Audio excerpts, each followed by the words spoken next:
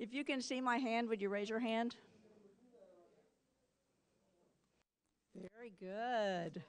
Old Girl Scout trick. that works. Hello, everybody. Welcome to Oasis. I am Jennifer Payton, one of your new newer board members. I would like to extend a special welcome if you are here for the first time. Um, we thank you so much for being here, and I encourage you to go to the desk out there. David Oliverio is our official greeter today, and he'll be happy to answer any questions, um, explain where the bathrooms are, tell you where the coffee, show you where the coffee is, all that kind of stuff. If you are not here for the first time today, if this is your second time, or your fifth time, or your 50th time, or your thousandth, thousandth time, I want to thank you especially for making us a part of your Sunday morning. Your presence is vital to what we do and who we are. So thank you. Um, we are going to have a great program today. We're welcoming back Joseph Crump for our musician. So he will be playing a couple of songs, and then we'll have our main talk by Anthony Cruz Pantojas. And then we'll have a little break um, to refresh coffee or whatever, and then we'll have a question and answer period, if that's okay.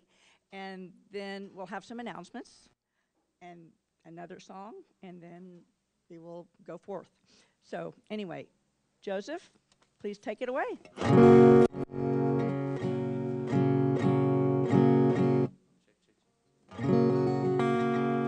Do one, two, there we go. Always good to be back at Oasis. It's a gig I look forward to, so thanks for having me.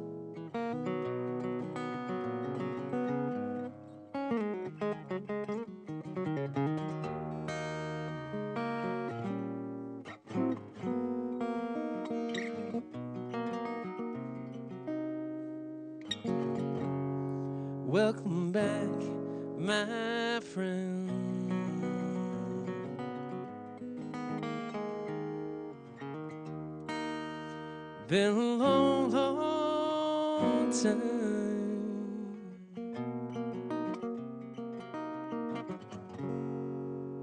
You were patiently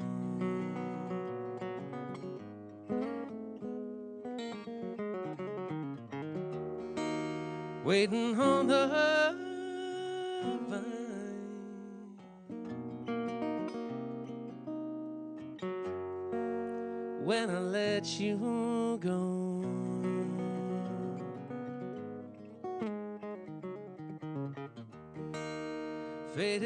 hand.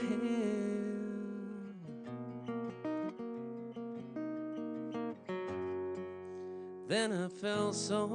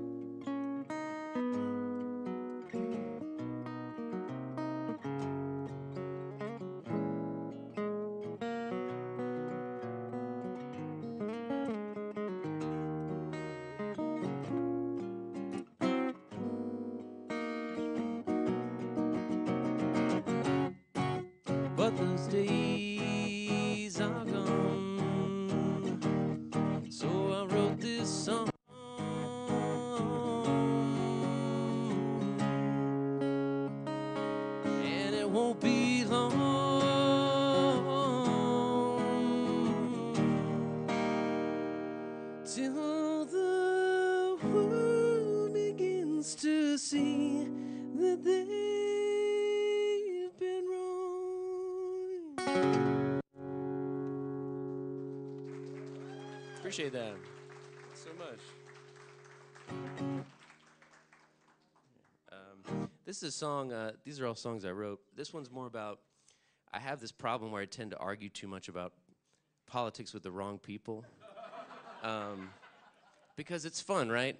But but my problem is, you know how when you argue with someone right away, like you know in the first couple minutes it's not going anywhere, right? Like like they're like stop the steal and like you know they just, they they're on like a totally different universe and there's you, know right away like there's no point in this.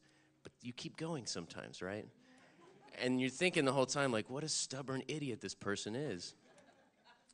But who's really the stubborn idiot if you think about it, right? So this is a this is an attempt at reflection and self-correction and, and I was hoping this song would serve as a form of therapy and it hasn't worked but I, I hope it's at least a decent song so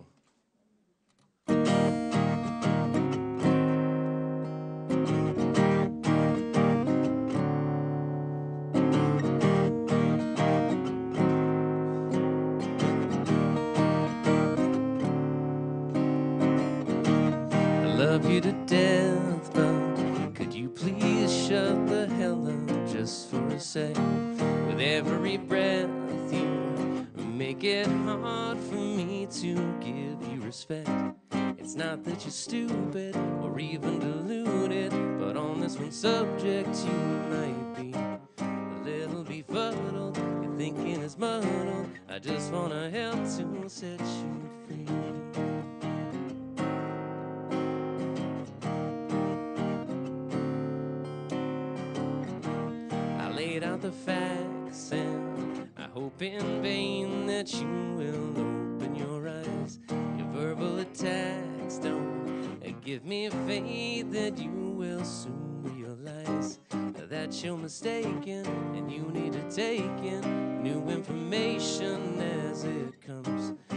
so unbending that this is unending. I feel like I'm staring at the sun but I can't change your mind. Maybe it's best if I leave it alone. I think you're blind, but I can tell that you're set in stone. But after a while, Start to reflect if I have no effect on your views. Which one of us is stupid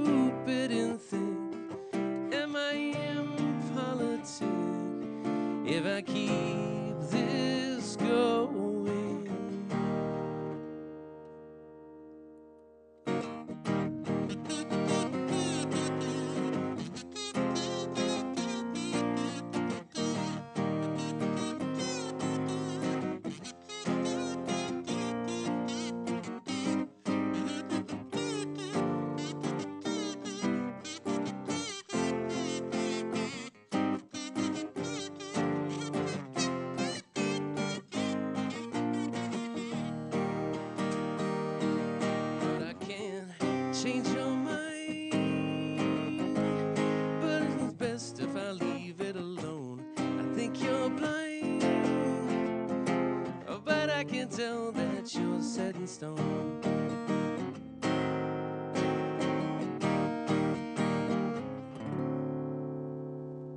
All right, thanks so much.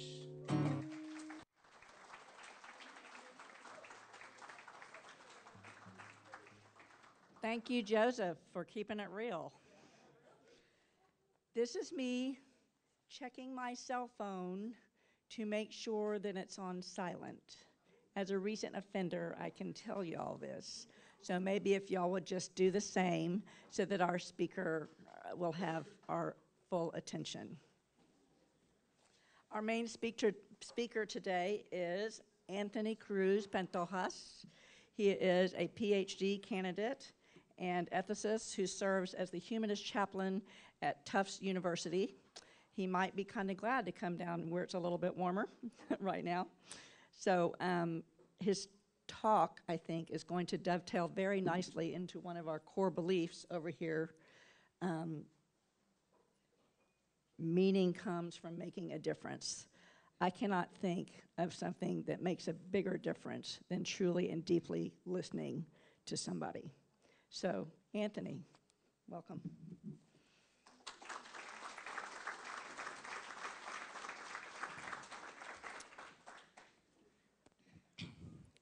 Good morning, Oasis. I am delighted to be here again. I have to confess that when I got Jacob's email saying, Would you like to come down um, to our new place? Um, in February, I was shocked and surprised that I was invited once again. Um, nonetheless, I am truly, again, in full transparency, a little distracted because as I was coming in, the elevator, I read the mission and vision of the Montrose Center. And so I am feeling so divided in many directions, kind of connecting it, of course, to Oasis and what I'm going to be presenting. So please bear with me as I try to rail in my brain. Um, my name is Anthony Cruz Pantojas. I use they, them series pronouns. Um, as it was mentioned, I serve as the humanist chaplain at Tufts University, and it's a delight to be here in this community. Um, the first time I was here, the community was split since you were all, I think, at an atheist conference, and so it was half of the community was not here. So it's definitely um, such a delight to see growing numbers. My talk today is on masking the human unconditioned, how deep listening reveals our shared humanity. As a lot of the work that I do, this is a work in progress. Um, nonetheless, it was being developed in part through the inspiration of a course that I taught earlier this fall called The Practice of Being Human Humanism for Everyday Life at Tufts University at the Experimental College. And as I heard of Oasis moving physical spaces, I said, this is the great place to go and invite us into deeper thinking, listening, and exploration. Oh, beautiful. It doesn't move here, but anyway. So, um, I will start by talking about my positionality. Let me see, hold on if I can move it here. Oh. You know, you would think that after years of doing COVID, people would know how to work tech. No problem. I will pull up my phone. So, as every talk that I give anywhere, maybe in higher education, a community center, any other space, I begin by talking about where I am today in my own understanding as an unfolding human being that's always growing, progressing, sometimes regressing. Um, nonetheless, just so that you have a sense of where I am. So I identify as a queer Afro-Boricua. I am a first gen. Even though I have an amazing job, I'm still in the bracket of low income. Um, I am neurodivergent and a nonlinear thinker and processor. Um, and so I always like to um, start my talks by giving that, not just to center myself, but also to allow other people to understand that we are not all necessarily the same, that we don't see the world or experience, hear, or sense in the same exact ways. And so, as it was mentioned, how do we begin to look at meaning through and with difference? And then I just share briefly about my own academic, um, again, positionings as a transdisciplinary scholar, practitioner, activist, especially looking through the frameworks of cultural studies, decolonial thought, and spirituality from a Caribbean lens.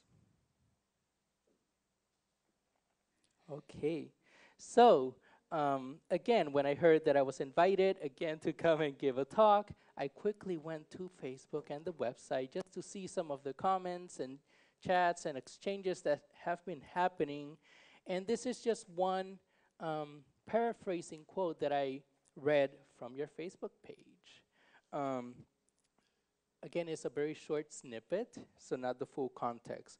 But basically, I was fascinated by the fact that you all moved, not your first move, to this place because, quote, you want it to be more accessible and central. Is that true? Is, is that quote okay? So that seems very superficial. So when I came into the space and saw that you were here specifically, my heart jumped because for me it's reflecting we're not just moving, you know, without understanding, without knowing, without um, knowing where you're headed, but actually being intentional about the spaces that you occupy and with whom.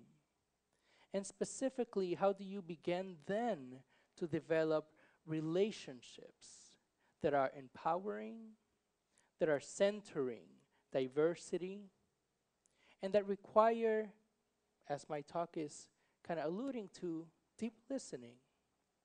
If you want healthy, good, robust relationships, if you want to occupy spaces through relationality and not just filling a space that's fractured. And again, um, in a time where we are such immersed in anti relationships, and I'll get a little bit into that a little bit later, it's so important that when we come into, in this case, institutions that have been here for a while, for a few decades, and we are beginning to enmesh ourselves into these spaces, moments of rupture, of tending, right, with physical spaces, in this space, in the surrounding communities, in the neighborhoods. And so, how are we, for example, listening to the stories? And I'm getting ahead of my slides, but it's okay. To the stories, to the narratives that are here in this community that we do not, and hopefully are not intentionally disregarding or not listening to. And so the, the second, um, and I'll put my phone again, my apologies. The second one is how are we again listening internally, right? So hopefully this was a process that was done in community by the membership, really trying to leverage the complexities of what does it mean to move. I don't know about you, but I've moved a little bit, and each time it gets harder and harder. Or at least my body feels it, especially carrying the boxes. Right? So, again, the fact that you all move speaks internally about a desire to continue to grow, a desire to move away from complacency and conformity to saying we need to bet for more. And then, third, what is there to learn? And moving forward as you become embedded in this space and community. Because again, this is not just a brick and mortar, this is a community center for the LGBTQIA community in a state, as we know, well, dot, dot, dot, anyway. Right, so again, really paying attention to how are we building coalitions, relationships, and not just recognizing each other's humanities, but as the title is talking about, challenging the conditions where unfortunately we're not all seen as human. We're not all, quote, worthy of being seen fully human, being allowed to unfold learn, unlearned, challenge our prejudices, our biases, misunderstanding, miscommunications, missteps. Where are the spaces where we can actually gain the resources the relationships, again, sorry for repeating that word so, so much, but also the spaces to practice being human. And for the sake of this talk, humans that have the intentionality of deeply listening, which I, and I forgot to bring up a quote, I believe it's less than 5% of the human population is actually trained to listen. So we can hear, and even that can be challenging, right, depending on our ability within our bodies and our senses. But how are we listening?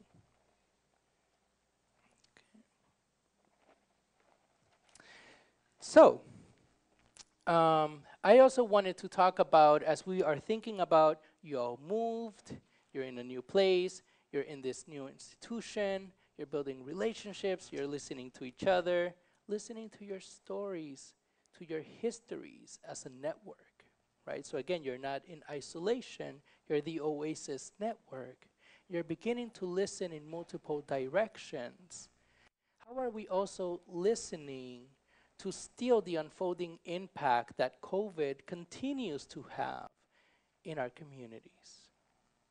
As I said before, the fact that even though we might be located geographically in North America, not all the states had the same access, the same benefits, the same possibilities to receive the vaccine, to receive mental health care, to receive counseling, you know, dot, dot, dot, dot, dot, so much, so much that's needed just to have enough.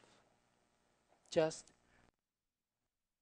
and so, even though there is not a ton of research that is actually pointing towards the impact that COVID has had in the younger generations, it's still, of course, as we all know, something that's unfolding, and scientists and social scientists are working very hard to do a lot of that um, work that I do not do specifically.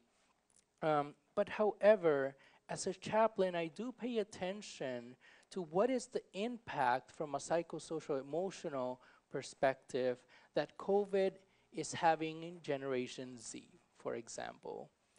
Older generations, younger generations, and the generations that are um, rising up or emerging contemporarily. And part of the, let me see where we are. Uh-huh. And part of the challenge of the COVID pandemic, as we see, is that it disrupted our ecologies. It disrupted from a global perspective our normal, whatever that means, ways of operating and being in the world, requiring that we physically and socially distanced.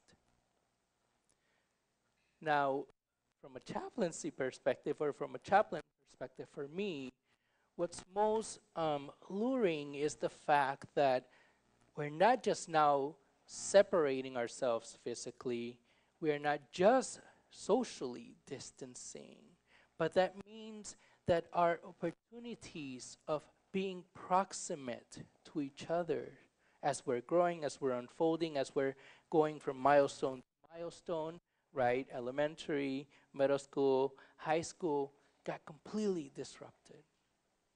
That means that your graduations went out the door. There's no graduation. You're graduating in your room, if you have a room, or you're graduating somewhere. The plans and goals and dreams that you had were destroyed. And now you're coming into potentially college, or again, having to move because now you need to be closer to family, right? Or closer to where you need to be to receive care or your community or belong to a network. And so notions of being then disoriented are at an all time high. And then you begin to kind of settle, and you begin to see, or this is what the research is, is pointing toward, that there's gaps in communication, that there are aspects of emotional development and emotional intelligence that are not where they need to be. What why am I bringing it up? Because you are saying your mission and your vision that you're a community. And so that means that every person that comes through that door or that elevator or those stairs has very different lived experiences, challenges, difficulties, traumas that they are experiencing at the same time as they're coming to potentially a new community that might not be well known, as maybe in comparison to other historical communities. And so, how are we then listening to those transitions, to those processes, to those ruptures, to those traumas in a way that is ethically responsible? Right? So, again, I got so excited when I saw that this was a, um, a building that provides counseling and mental health care to the LGBTQ community because it's so, so timely and relevant to really explore what does secular communities or a secular worldview have to offer from a multidisciplinary perspective in terms of care, in terms of deeply listening to the unfoldings of people, of communities, stories, and narratives that we are all carrying, again, as we're just trying to find our way. And then the last two points, if we're looking at the changes from a social perspective between generations, seeing that things that were a given before, so going to high school, completing high school, going to college, completing college, that's going to lead you X, Y, and Z, which will then give you a house and then give you generational wealth or give you some form of social mobility. All of those realities have been disrupted. Maybe not so if you have a more robust um, network or familial network. Nonetheless, what happens, as I said in my introduction, to people that experience a first generation um, reality or have migratory or immigratory realities that they are navigating with, aside from everything else that comes within the human condition. And so I mentioned all of that because it's so important as a secular community to always have awareness around how are we listening to ourselves, our moments of what would be called immunities of change, so resistance to understanding change within human relationships, institutions, and groups, and really pushing and saying, you know what? I caught myself. I, am doing that thing that I always do when I hear something that I don't agree with, that I don't fully understand, that I don't want to understand. Activating within me a particular trauma experience or challenge that I have not yet fully addressed or repaired. Because again, as a community, we're always working, right? Okay, and then now, since I know that we're a secular community, I'm going to use a quote um, from a scientific perspective. Um, and again, this is a article, and I have the resource in the references if anyone is interested, basically looking at Generation Z during the COVID-19 crises.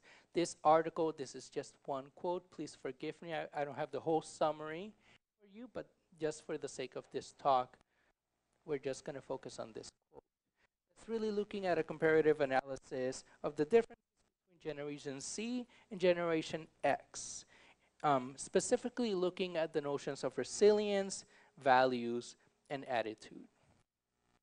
So, as I quote here, the current study, the one that I just cited, examines the attitudes of Generation Z as compared to older generations in the context of attitudes towards flex flexible work flexible learning, and online consumption. Previous findings show that younger generations have higher levels of openness to change and lower levels of conservation values. Now, again, why do I bring this into this space? Well, there's many reasons, but the few that I want to mention is that hopefully you are interested in continuing to grow, to develop, to create healthy spaces where more people can come into this space. And not only come, but stay. And so if we give as a give, if we state as a given that we no longer only live in physical realities, but now we have been immersed in hybrid realities, where, as we're seeing here, right, it might be being broadcasted, recorded, then is shared on YouTube or live stream or any other platform, then that means that even though we're gathered here in Houston, anyone in the world can also at the same time be connected and thus can find community here. Now, that might rock our minds of like, but they are not physically here. So, how can they find community? Well, that's part of the challenge of engaging in transgenerational relations is that notions and concepts that for us are a given or have a specific form of being is not necessarily shared in the same way. And COVID definitely launched us, if not propelled us, catalyzed us into moving from the 20th century, at least from a higher ed perspective, to reckoning with the fact that, well, I guess we have to open up the classroom and not just the physical classroom, but actually the classroom from a virtual perspective. So that means that a student that was living here in the dorms next door to the professor, hypothetically, is now the same student with the same professor. They're in Amsterdam. Or they're somewhere else in the world because they needed because they needed to relocate reassess their life. The same thing happens with communities. How do we define and explore what membership means? How do we explore, listen, and understand to what belonging is? Who gets to determine that? Who holds the power to have access to those possibilities? And so, hybrid is really saying that while the younger generations might not necessarily have the same resilience because they don't have the same um, length of lived experience, they are, from an intellectual and philosophical standpoint, more flexible in their own lives, and then bringing that into their workplace and saying, hypothetically speaking, but I have seen it, so how many times do I need to be in the office? Do I need to be here Monday to Friday, 7 to 4 or whatever? Or what's my day where I'm actually online? While other folks are, as some of my professors, hopefully they don't listen to my talk, I'm so excited to go back to the classroom so that everything can go back to how it was. Because learning only happens when you're in the classroom. The same thing is applied in our context in secular, humanist, non theist communities. Are we just expecting people to come through the door and everything is there for them or for us or a we? Or are we also recognizing that we have a physical reality, we have a hybrid reality, and that, of course, we have the outside world? So, how are we listening to the needs of our nearby neighborhoods and communities that might be demanding of us without us knowing a different way of showing up, of embodying our values, of embodying our ethics in ways that we are being co conspirators with others, especially those that do not hold the same dimension of power? Or do we just like being in the chair and just being here under the AC, which is totally understandable? But if we are really living and practicing our values, let that be known. We don't do X, Y, and Z, or we cannot do X, Y, and Z yet. It's better than trying to say we do everything and then we don't do nothing at all.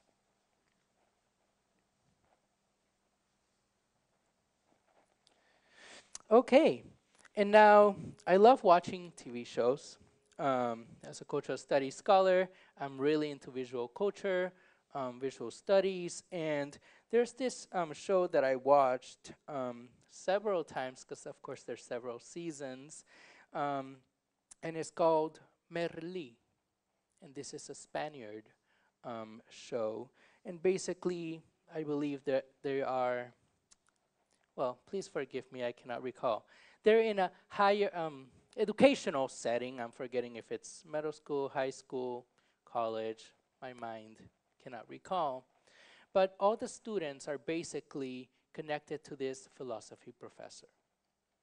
And this philosophy professor is really hoping to bring the students to appreciate philosophy. Again, given the context of the show, it's like, what the hell? We don't need philosophy. This is garbage, blah, blah. Why do I need to come to the class? This is so boring. They're all dead.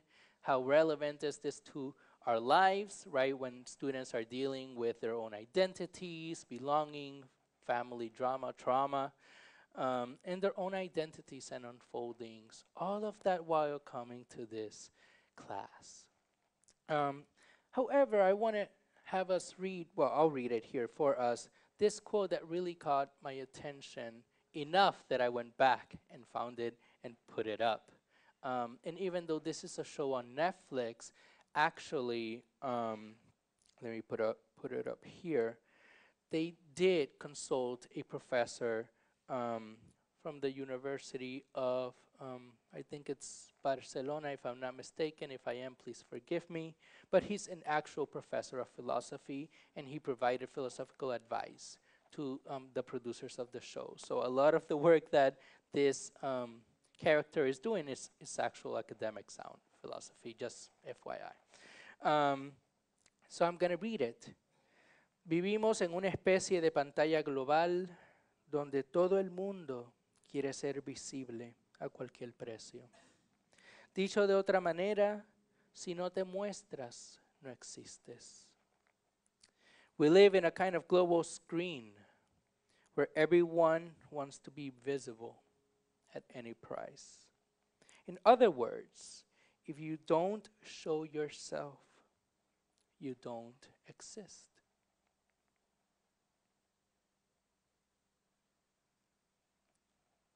Now, of course, we're not hopefully going to get into philosophical debate. What is fascinating about this quote, at least for me, is that throughout the show, students are really grappling with how are they showing up in the school? How are they showing up with each other? How are they utilizing what they're learning in the classroom in the struggles and complexities of their own lives? And how are they being perceived by others? So, for example, the most brilliant student at one point in time in the class, as they actually went to grad to college, excuse me, he found out that he was just, you know, standard person, that he was not as brilliant as he thought he was around philosophical matters as it was in high school, even though it was the same professors. But he really grappled with the fact that, you know what, I have other colleagues with whom I had, right, difference that I disregarded, that I didn't care for, that now in this stage, either have mastery or full grasp or full understanding of the material. They're doing their work, they're passing their exams, and yet this character is struggling with doing their work. Now, what relates to us in this community, again, is that we are showing ourselves in multiple dimensions. One is we are here, we are virtual, but also we're utilizing other platforms to get the mission and vision of the Oasis Network across.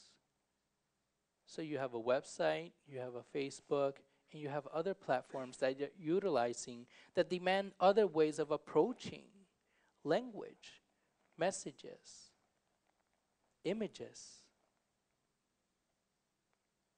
Now, who has the time to do all that work? Well, I'll leave it up to you. But that requires different possibilities of engagement, of listening, and challenging our own, our own conditions of how we're navigating these multiple worlds as we're trying to do community.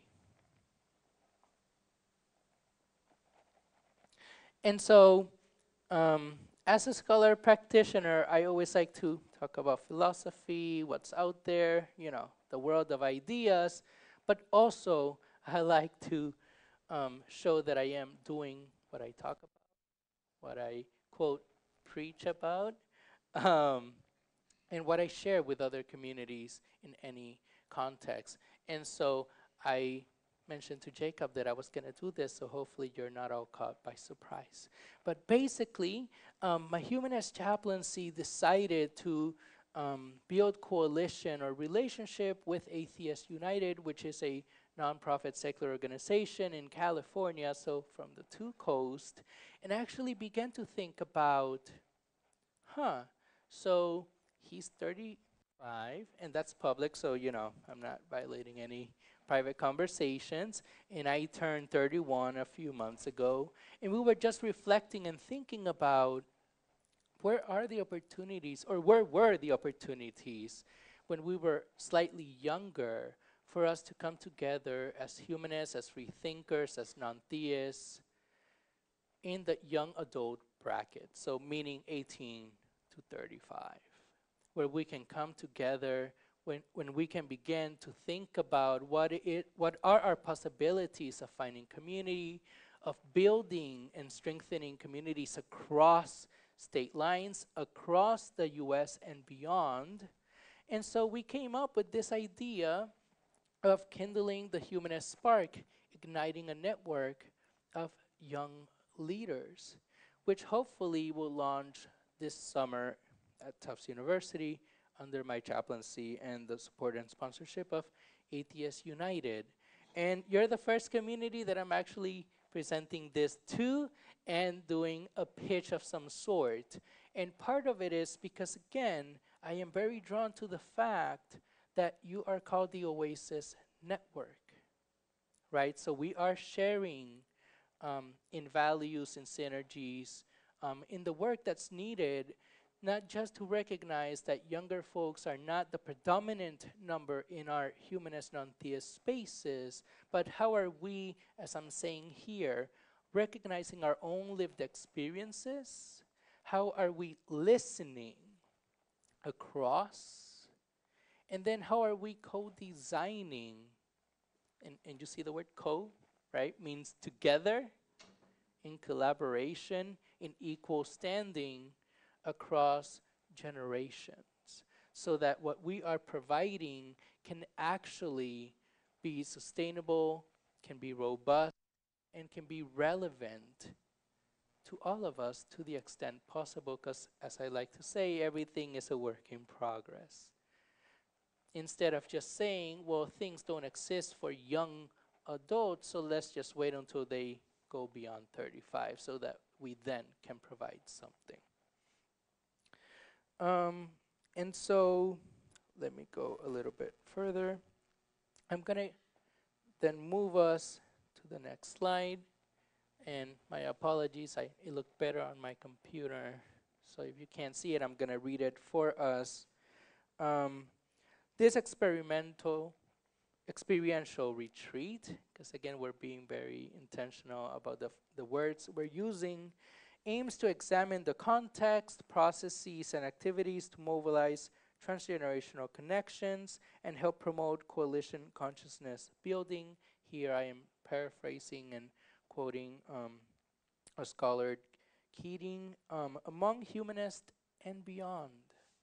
Because again, if we're following the trends, and I am not a statistician by any means um, at all, but if we are paying attention to what it's saying, as I am assuming you all know, more and more demographics and younger demographics are moving beyond traditional forms of being, existing, and sensing their way through, especially in, in the dimension of social um, ways of being, in terms of religion, ethics, and spirituality, right? There are the spiritual but not religious, there are the nones, there are the questionings, fluid, spiritually seeking. There's so many concepts.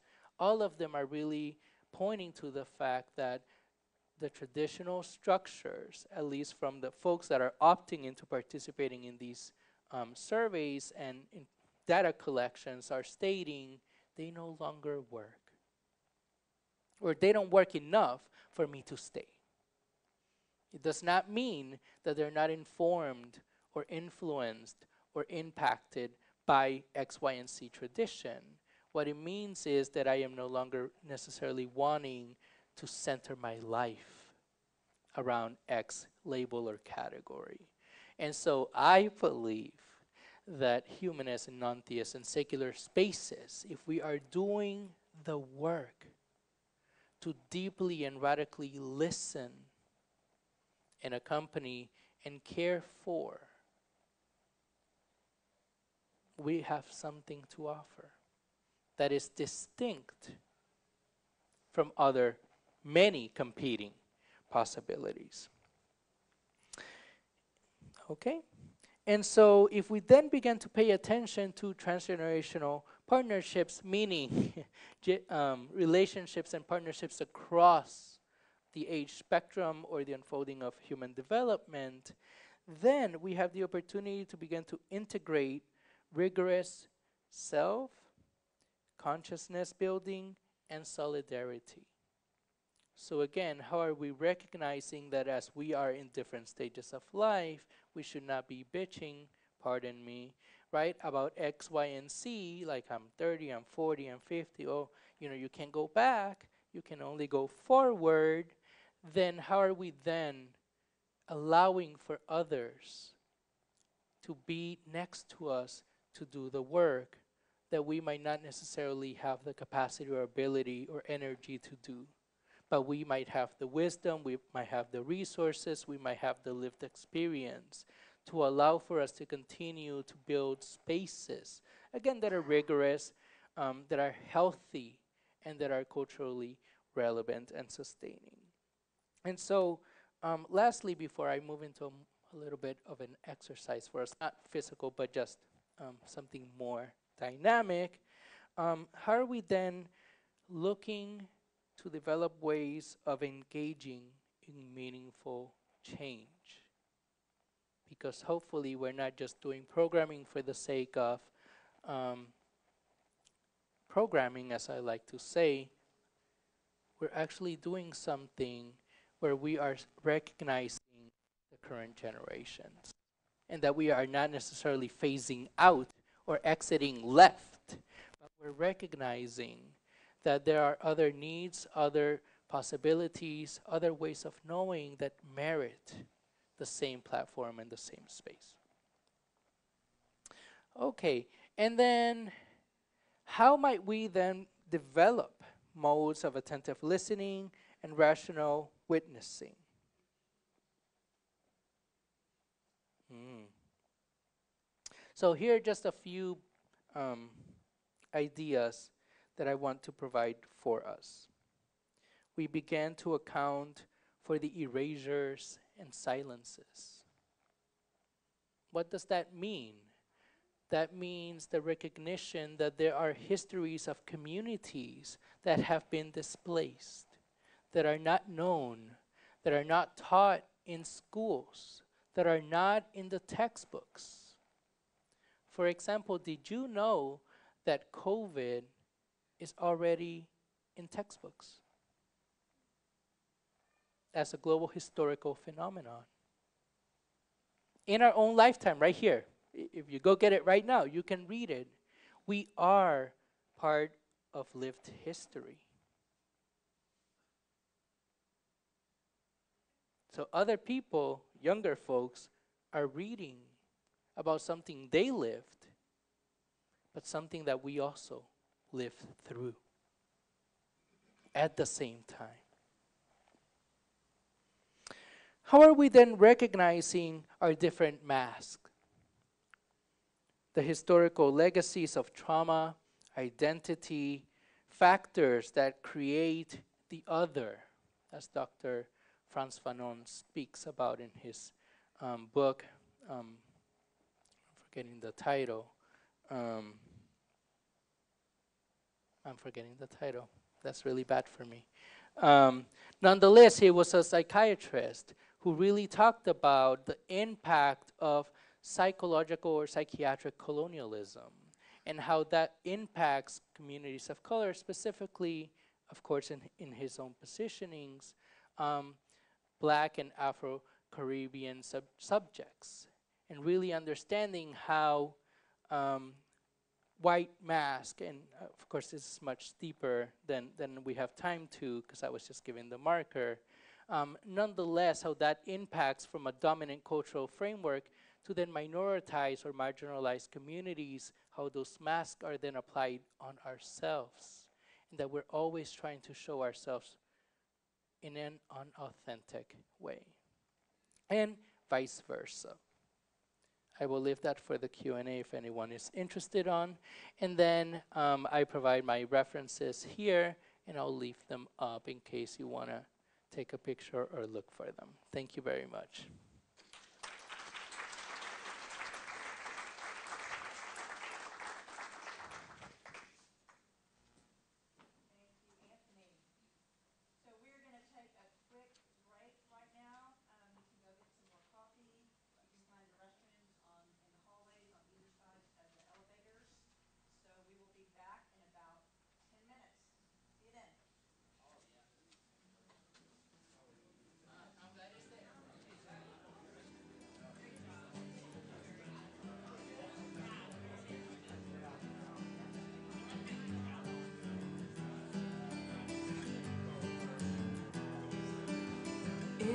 Get much closer, I don't know what I'd do.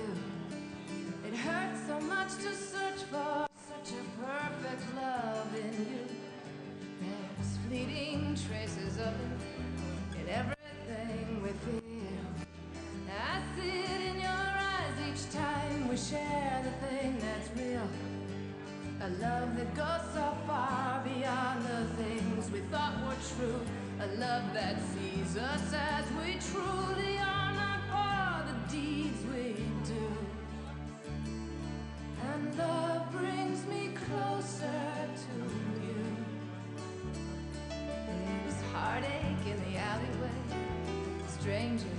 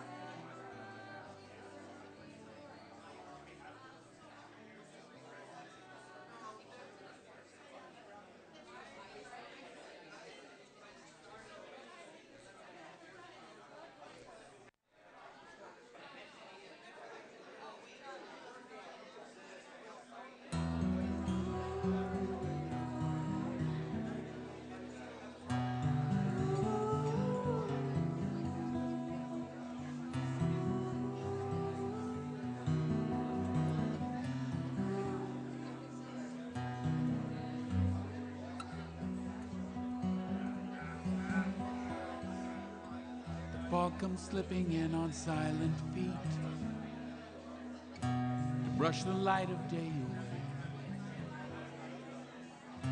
For a second, my heart skips a beat for what lies lurking in the grave. It's just a cloud,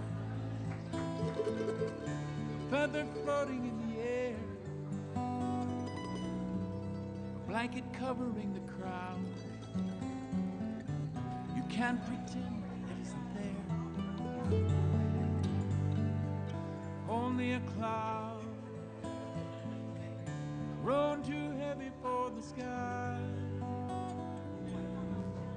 Wintry watercolored shroud, gone in the twinkling of an eye. I see you sitting in that silent space. The lights are shattered by the tears.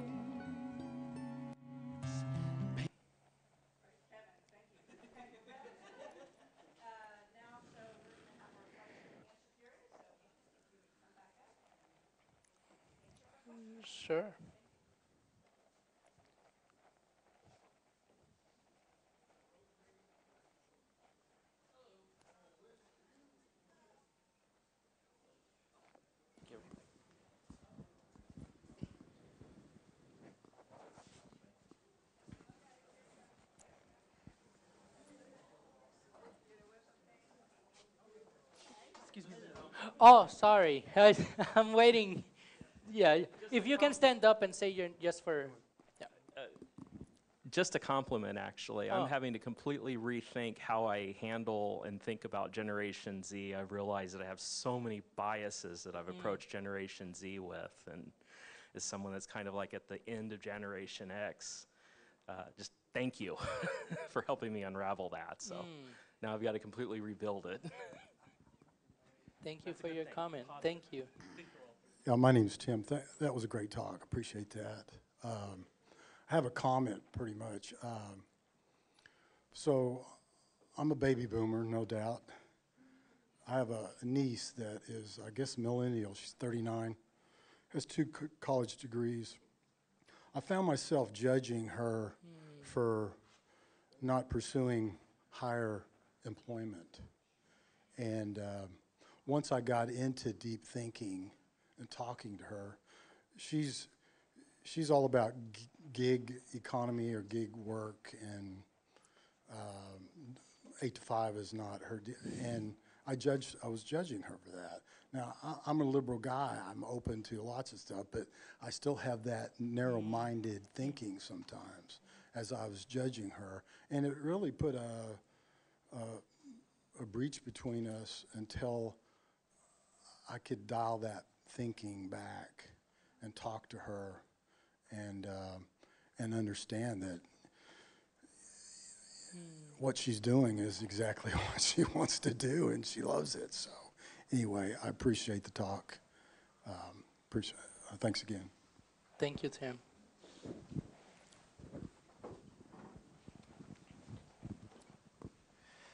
You know, I, I think what you're mentioning, Tim, is I, I think a concern of any parent, um, son, daughter, kin, whatever framework you want to utilize about a real concern about possibilities of the future.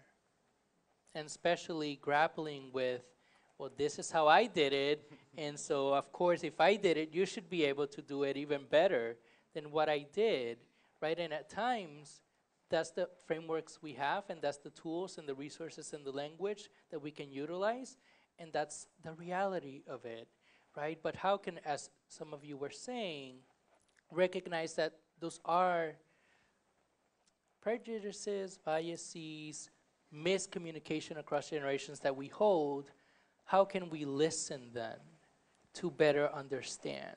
Not to formulate a response or a rebuttal or a challenge, but actually say, like, you know what? The economy was different. Everything was literally different. Now it's more challenging and more complex. And now, a degree, whatever that is, even a medical degree, an engineering degree, a law degree, does not equivalent um, financial um, solvency anymore. And so, how are then our current generations, including any generation, developing ways to responding in a way that is also being aware or protective of their energy and their well-being?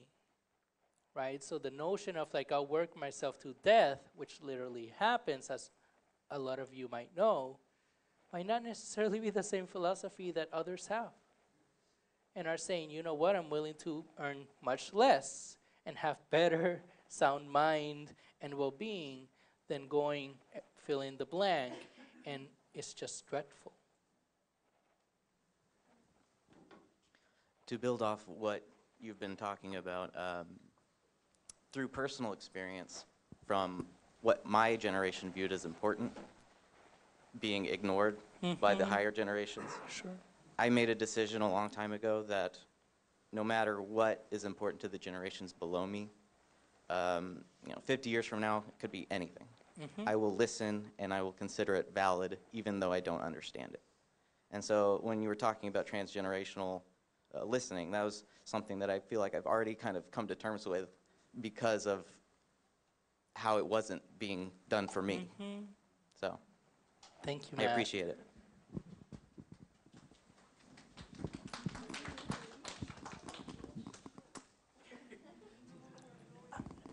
I'm following the microphone, sorry. Hello. Hi. Um, my question is practically, how do you do this? Do you have like discussion groups or are you talking more about in our day to day lives to implement this or both? All of it. Yes, definitely the everyday life for me is crucial. You hopefully are practicing it, failing forward, failing backwards. Hopefully, as Matt mentioned, it's a commitment that you begin to develop, right? That, of course, it's not perfect. We can always do better. But yes, everyday life. Um, as a chaplain, I do that with the humanist community that I supervise and mentor and care for that have their own board and their own resources. Nonetheless, as a trained um, chaplain, I am able to provide that care. And then with other nonprofits and secular spaces where I serve. So I do try to do the micro, the meso, and the macro um, within our communities or non theist ecologies. Uh, this is going to be our final question. Well, uh, I'll let you go and then we can. Um, Yeah. So actually, just kind of more of a comment Sure. uh, from a practical side of like living and experiencing with um, across multiple generations. Yeah, Uh, I would like kind of point out the commonality. Like people are people, right? So we believe and want to live life to what we think is important, right? So you talked about people who you know work themselves to death. That's because they did what they thought would give their lives value sure. you know, and those of us who are younger and then those who are younger than I, you know, they're just trying to live their lives with value. They're trying to give um, their experiences meaning. So, yeah, that's kind of all I had to say.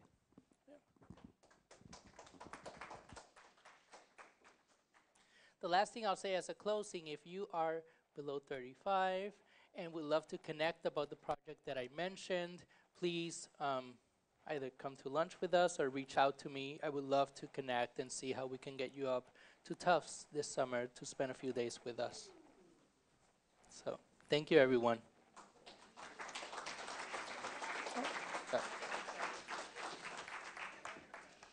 Thank you very much.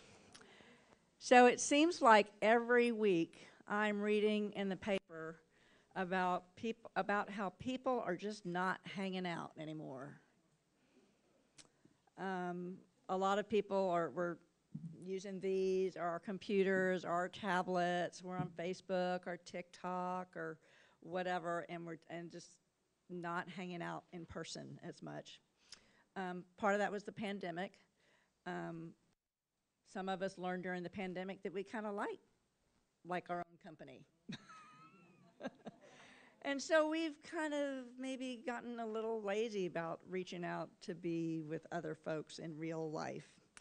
The jury is still out on what that's going to do for us or against us as regards our mental health. So, to that end, this is going to be my pitch for all of the different things the Oasis community is doing.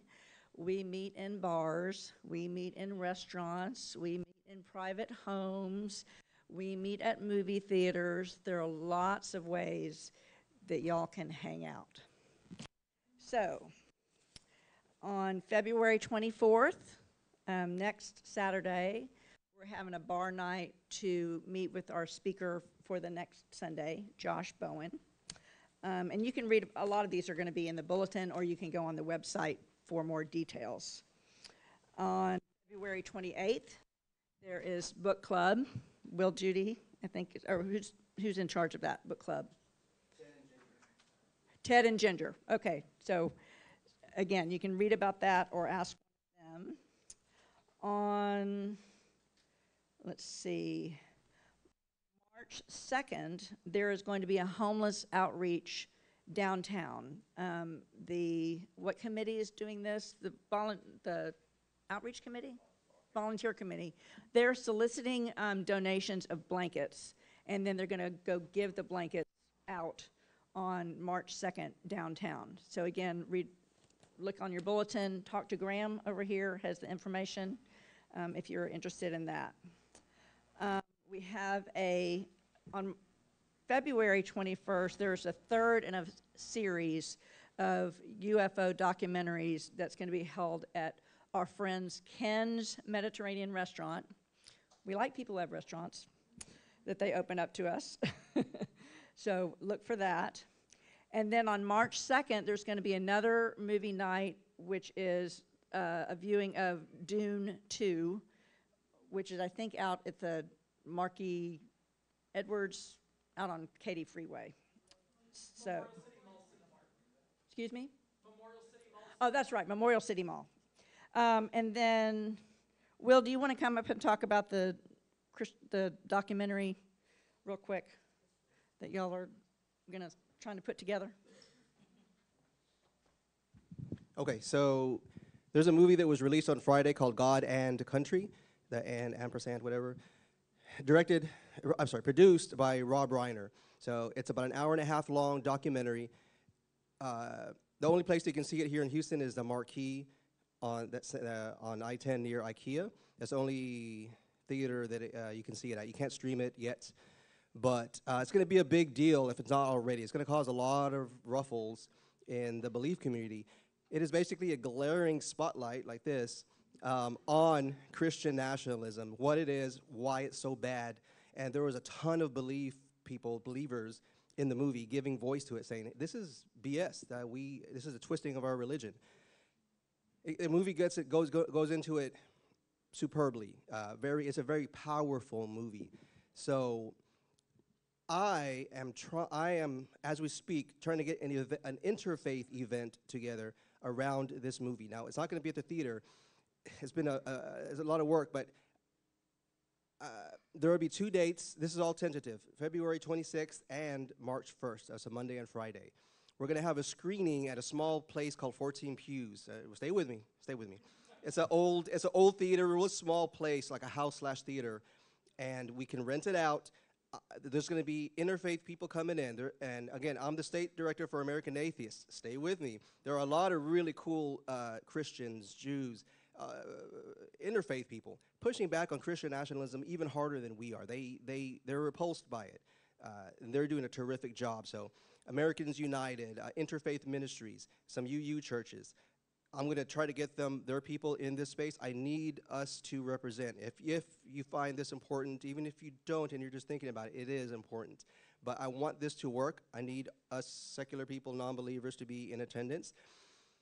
It's not official yet, but I'm kind of giving you a, a forewarning. Uh, plug into our Houston Oasis meetup, and the information will pop up as soon as I get this event, which hopefully is in the next couple days, uh, uh, finalized go ahead and see it on your own. Again, uh, it's playing at the Marquee, Edwards Marquee, but the events that I just uh, mentioned, they'll be ticketed events.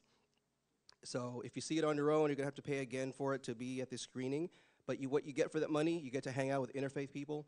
Uh, you get to discuss it with believers and us uh, heathens.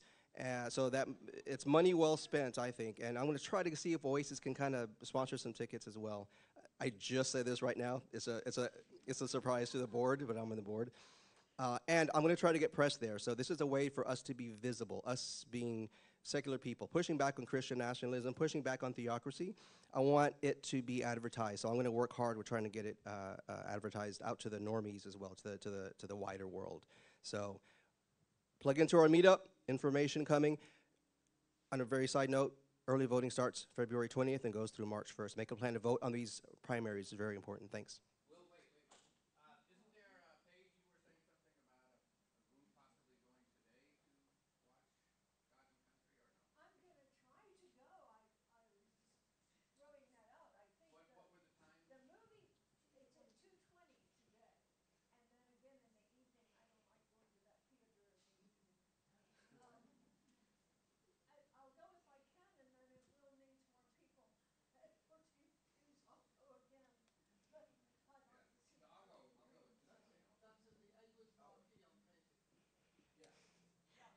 Okay, uh, so a couple more. Um, we do actually have a card night, uh, Oasis cards. We have changed the night. We used to meet on Wednesday nights, and it turned out that was just really difficult for a lot of y'all to make.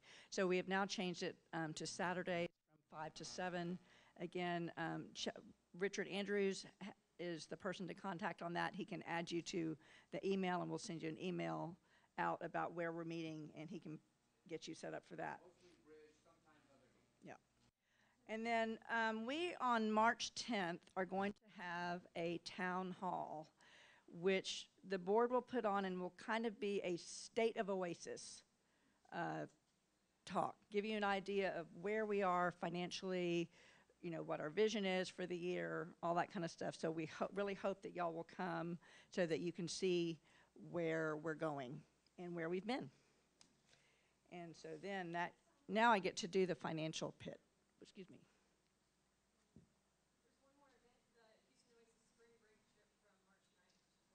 Ah, okay. Did you hear that? Houston Oasis spring break trip from March 4th, 9th to the 14th. Okay. So here's the deal we don't pay for silver chalices, and we don't pay for fancy robes. We don't have a pipe organ that needs maintenance all the time. What we do have is we have to pay for this space. And we have to pay for storage to bring all of our sound equipment that we have had to buy. We pay for um, the room, we pay for a child care person so that people who want to bring their children have a place to put them, you know, so that they can enjoy the talks. Um, all of that costs money. So we would really appreciate it if you could make a donation. If you could make a recurring donation, that really helps us because if we don't know how much we're going to be getting in, it's really hard to budget. and those recurring donations, no matter how small, help us to know what we've got coming in and what we can afford to spend and what we can afford to save for. It's just really crucial. So I just want to put that out there. There's a hat in the back, and there's and you can use the back of the. There's a little QR thingy here for those who are technologically adept to use. Yeah.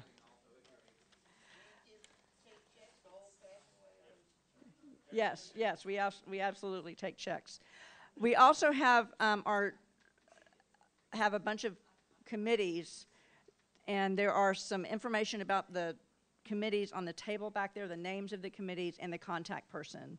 We have things like a volunteer committee, a social outreach committee, a speakers committee, just all the different co- the committees make this organization run.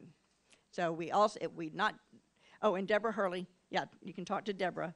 So it's not just financial help that we need, it's also blood, sweat, and tears help so that we can keep ourselves going.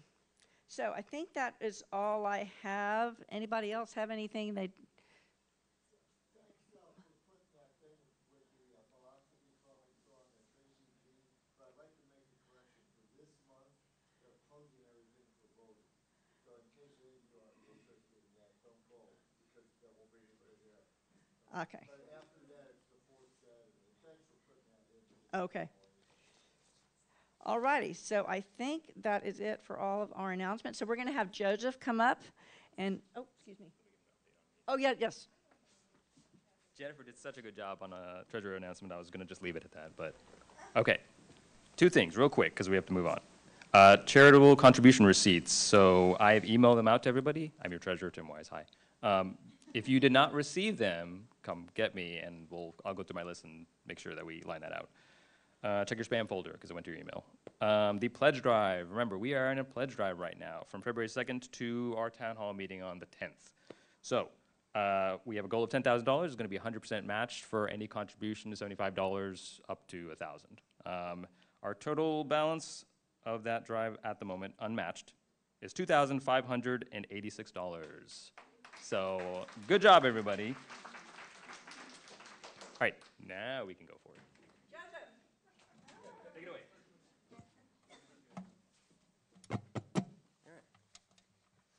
Okay.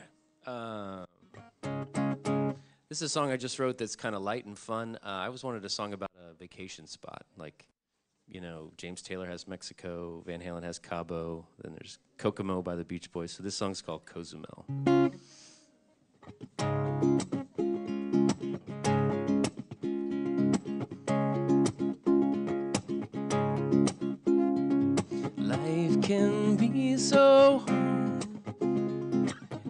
Anytime that we're apart. But when I hold you close, jubilation overload. So run away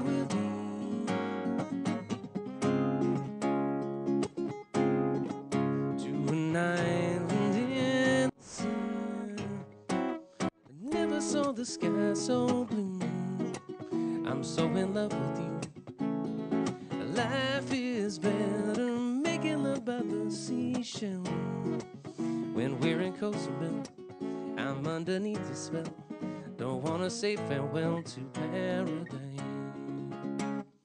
Let the ocean side, almost nothing more sublime. And what else could compare? Big brown eyes and long black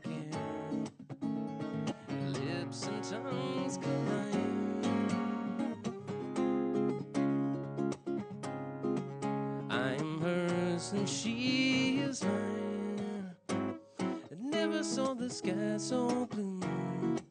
I'm so in love with you. Life is better making love by the seashell. When we're in Cozumel, I'm underneath your spell. Don't wanna say farewell to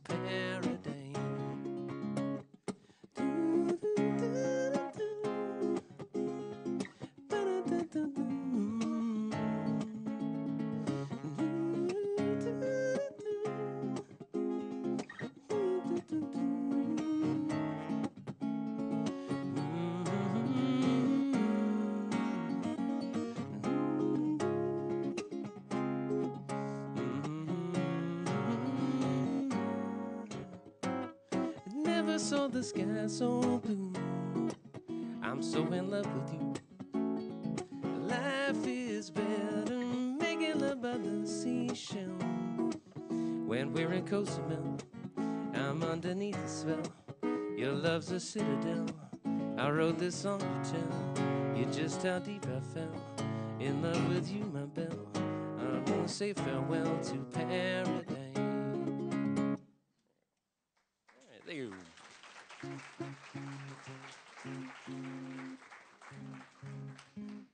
Cozumel and all I did was write songs. I didn't even like do scuba diving or anything like that. Could have done that at home. Right, was it one more or two more? Whatever, two more. Okay. Cool. Um, thanks. Uh, so I play in a band called The Drift around town, and this next song is one I did with the band, and you can find it on Spotify. Um, you'd have to do The Drift TX because there's like 8,000 The Drifts in America, and that's a band fight that's been going on for years um, that I don't wish to talk about.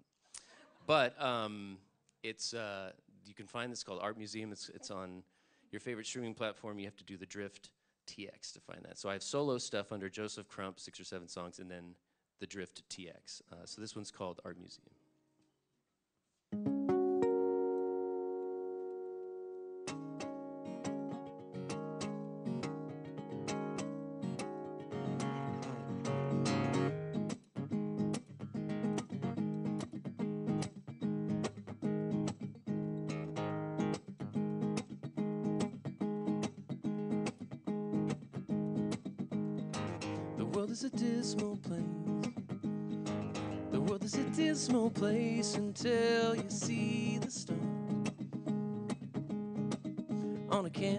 Sky, you better stop to wonder why we live on a life of pain. We live on a life of pain when love is all around. You gotta find it, cause it's hiding in the basements of our heart.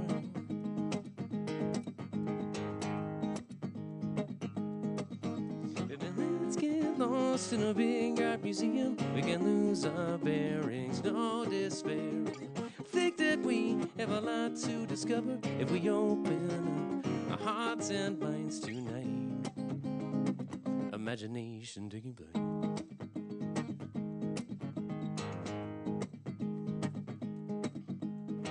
I never know what to say. I never know what to say when people disagree. They think I'm wrong, I'm holding on to what I want the world to be. But they shouldn't close their eyes.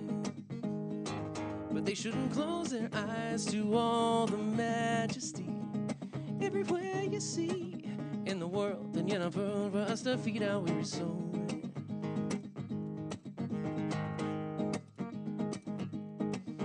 Baby, let's get lost in a big art museum. We can lose our bearings, no despair. Think that we have a lot to discover if we open up our hearts and minds tonight. Imagination taking flight.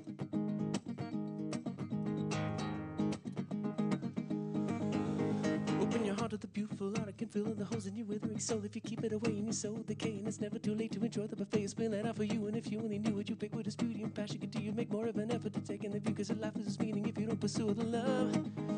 Love, love, love, love.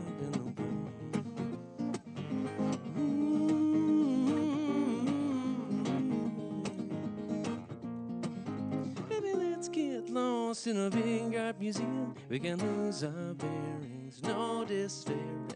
Think that we have a lot to discover if we open up our hearts and minds. Let's get lost in a big art museum. We can lose our bearings, no despair. Think that we have a lot to discover if we open up our hearts and minds tonight imagination taking flight.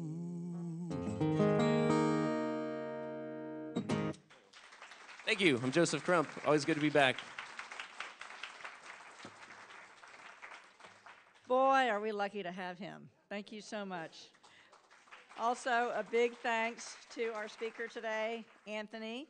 If you would like another opportunity to speak with our scholar in residence today, we have lunch at Katz's Deli, which is over here on Montrose. Um, Cats with a K, right? Not cats like meow cats, but cats with a K, on Montrose and Westheimer. Just off, it's on Westheimer, but just off of Montrose.